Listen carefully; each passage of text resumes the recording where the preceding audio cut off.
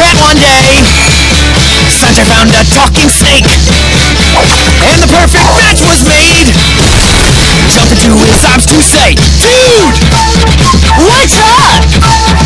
Sanjay and Craig, the stuff they get to is insane. Sanjay and Craig, they're in the best friends hall of fame. Sanjay.